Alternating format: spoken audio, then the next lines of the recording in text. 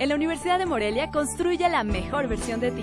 Estudia tu carrera en tres años en las áreas de la salud, humanidades, económico-administrativas, videojuegos y arte digital. udemorelia.edu.mx. Teléfono 317-7771.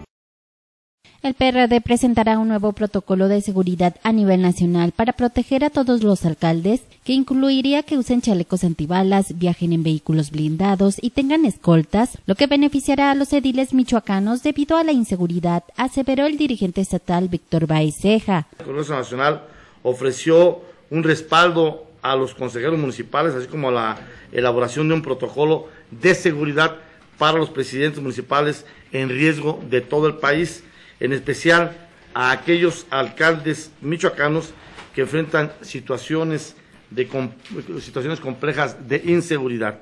Resaltó que no solo va enfocado a alcaldes de su partido, sino a todas las fuerzas políticas. Dijo que será entregado a las autoridades estatales y federales para que se valore.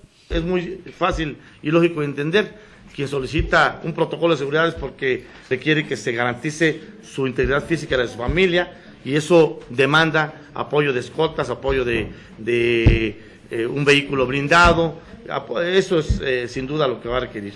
En el Congreso Nacional también se logró derogar artículos de los estatutos internos como el 107 que permite la reelección de los dirigentes del partido, dejando pasar un lapso de tres años, dijo. A los que ya fueron nuestros dirigentes es una posibilidad más de poder dirigir los destinos de nuestro partido anunció que el próximo viernes 29 el dirigente nacional de su partido, Jesús Zambrano, hará una visita a la entidad y se le pedirá el respaldo del protocolo para que lo dé a conocer en la mesa del Pacto por México.